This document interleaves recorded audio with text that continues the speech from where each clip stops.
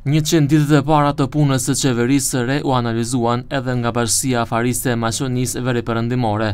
Sipas tyre, në këto tre muaj, numrat tregojnë se nuk janë arritur rezultate të kënaqshme.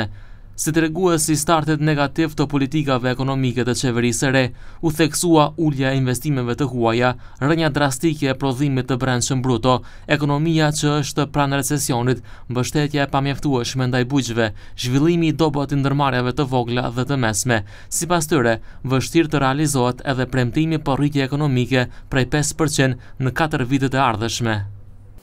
Qeveria e Republikës së Maqedonisë duhet përkushtuar më tepër në marrje të masave konkrete me fokus në rritjen e kapaciteteve prodhuese ekonomike vendore, gjë që do të mundëson rritje të ofertës vendore, zvogëlimin e papunësisë dhe rritje më të madhe të eksportit të vendit.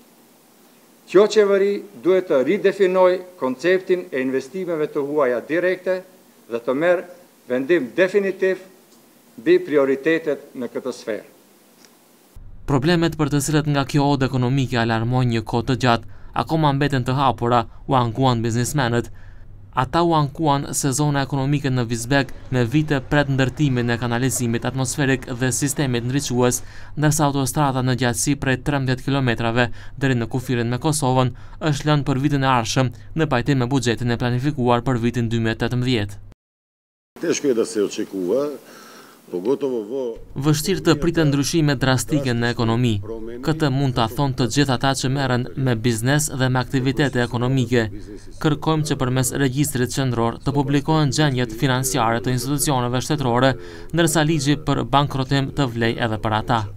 Nga Oda Ekonomike e Maqedonisë Veriperëndimore kërkuan që sa më parë të kthehet sundimi i së drejtës, sepse vërehet ngecje edhe në reformat gjyqësore. Ata e përshëndetën rritjen e pagës minimale dhe theksuan se pas ndërrimit të pushtetit është ndryshuar edhe koncepti dhe më nuk ka qasje selektive gjatë kthimit të TVSH-së siç ndodhte më herët.